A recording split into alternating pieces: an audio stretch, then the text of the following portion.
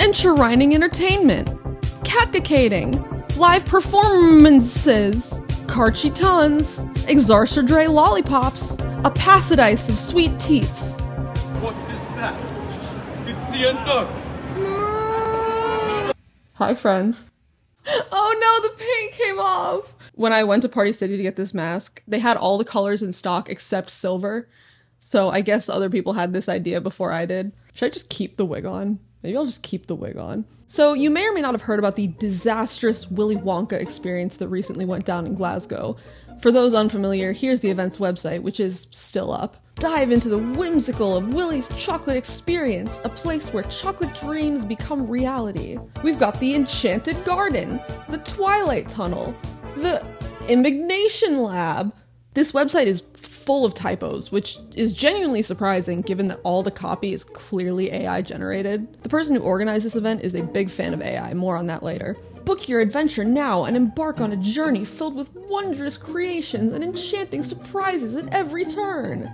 And what enchanting surprises they found. The venue turned out to be a dirty, empty warehouse with like a couple of tables and some strewn about props. It was so disappointing that it left kids crying, and eventually parents called the police. People were shouting, people who put on the event were crying, there were arguments, people running around everywhere, the set had been trashed. This picture of one of the Oompa Loompas went viral, in which she's wearing a sexy Oompa Loompa costume and appears to be running a meth lab. She, she got so much hate for this picture, but as things go on the internet, the tides turned for her, and they turned hard. New mother pics just dropped. The hero we need but don't deserve. Justice for Kirsty Paterson. This queen did her best with those kids despite the shit show she was in.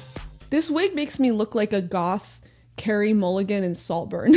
I want to take it off, but we're too we're in too deep now. Then we've got this guy who was supposed to play Willy Wonka. Sorry, Willie McDuff. What is this guy? The Thane of Fife? That one's for my Bardolaters. He went on TikTok and talked about the whole experience. I got cast as the part on the Thursday and was told that I needed to learn the script for the Friday. So I said, no problem, send it over. The script was 15 pages, monologue, pretty much, of AI generated gibberish. There is a man, we don't know his name, we know him as the Unknown. This Unknown is an evil chocolate maker who lives in the walls. The unknown is a character completely made up by whatever AI they had write this, which is probably why the costume is literally just a chrome mask and a cloak. He's played by a 16 year old girl who, according to this interview, was originally cast to play Willie McDuff. The event didn't even have chocolate, they had store bought lemonade and single digit numbers of jelly beans. I was already rationing the jelly beans to three per kid, and that was me being generous. We were told on the uh, experience to hand out a jelly bean, one jelly bean uh, per child, and a quarter of a cup of Tesco's own brand lemonade. Can you imagine paying $45 to go to an event where you get a quarter cup of lemonade and one jelly bean? Also, if you can believe it, the actors never got paid.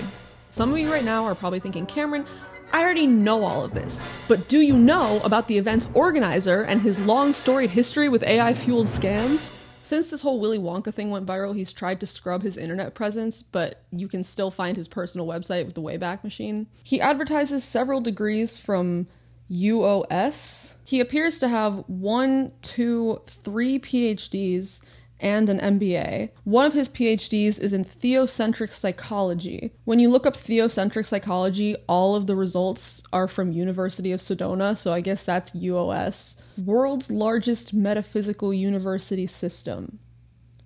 Okay. He's the founder and CEO of Empowerity, a company he didn't capitalize that can enable even average Joe start and grow a widely profitable businesses. Okay, so this is their filing history, which says that they were dissolved via compulsory strike off in November 2023. And there's our boy. There's our boy. This is his Instagram. Um What am I looking at? Oh my god! Not the AI generated cover. So his Instagram features ads for his many books available on Amazon. There's a really good folding ideas video about the Amazon self-publishing grift, so this caught my attention. Meet Rosie Black, a woman whose life was forever altered when she became ensnared in the clutches of an insidious international trafficking ring. Alright, so this was published on July 9th, 2023. He has a bunch of other books down here. 57 pages! The Hidden Bibil, August 5th, 2023. The Quantum Paradox, August 3rd, 2023. The Biohazard Protocol, August 1st, 2023. He's really he's pumping these books out. The Prophecy Matrix, also August 1st, 2023. Oh god, what is the Shadow Directive? A secret government program known as the Shadow Directive, a malevolent force designed to manipulate public opinion and control influential figures. Along the way, they realize the high price of truth as sacrifices are made and the toll of their battles weighs heavily on their souls. Okay, I'm 100% sure this is AI generated. 100%! Let's fucking go!